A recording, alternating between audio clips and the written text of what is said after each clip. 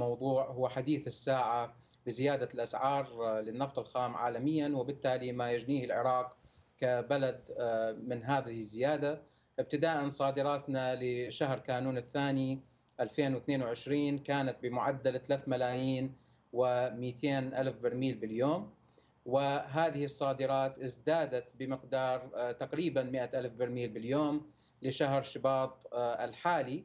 وهذا طبعا تقدير أولي لحين انتهاء الشهر بشكل رسمي. الآن الصادرات تقع تحت معدل 3 ملايين و300 ألف برميل باليوم. هذه الصادرات هي أكثر طبعا مما سجلناه خلال عام 2021 والتي كانت بحدود 3 ملايين برميل باليوم. طيب يعني هل أكو نية أيضا برفع معدلات التصدير؟ وش وقت راح يتم هذه النية؟ أو هذا يعني هاي الزيادة؟ جيد. سؤال جيد. اولا السوق متعطش.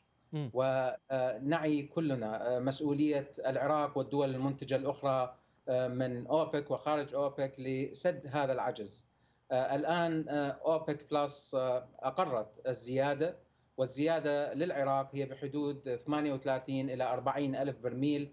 باليوم شهريا ابتداء من شهر أوغست الماضي في عام 2021 وإلى شهر سبتمبر القادم لعام 2022 بعد ذلك نعود إلى إنتاجنا الرئيسي الأساسي الذي هو بحدود الأربع ملايين و653 ألف برميل باليوم. فبالتالي الخطط المتفق عليها هي باتجاه الزيادة ابتداء. طيب أستاذ علي أستاذ علي أريد أسأل عذرا للمقاطعه هذه الأرقام من نحكي على 3 ملايين و300 بشباط 3 ملايين و200 بالشهر الفات. أريد تنطينا فكرة هل هذه دا تنباع بالسعر الجديد؟ لو أكو عقود العراق دا يبيع بأسعار أقل؟ يعني نريد بس نعرف إيش قد يعني حتى من نقعد نحسبها نقول 3 ملايين بيش البرميل. جيد. هو سؤال ممتاز لكن يسمح وقت البرنامج لذلك.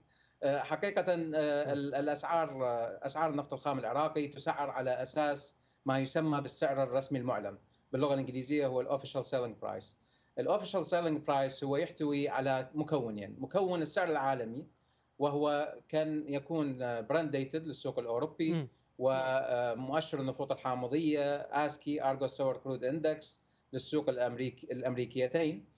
وكذلك عندنا للسوق الآسيوي هو معدل نفطي عمان ودبي.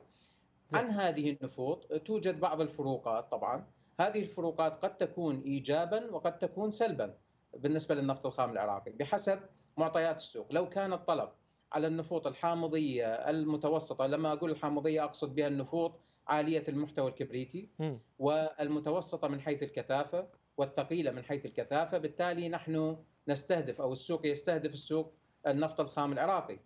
آه هذا يدعو إلى زيادة الفارق السعري أو ما يطلق عليه بال differential عن النفط الإشارة العالمي آه عن نفط الإشارة العالمي باتجاه الإيجاب. تمام. هذا الأمر يدعونا في بعض الأشهر وتكررت هذه الحالات أن نبيع أعلى حتى من معدل سعر نفط الإشارة وهذا ينطبق على نفط خام كركوك على سبيل المثال م. للسوق الأوروبي الآن نبيعه أعلى حتى من برنت في سعر الحالي فعلى هذا الأساس الفارق لا يعكس بالضرورة القيمة السلبية للنفط الخام العراقي واضح. أما باقي الأمور التي تدخل في الاحتساب فهي معدل أجور النقل.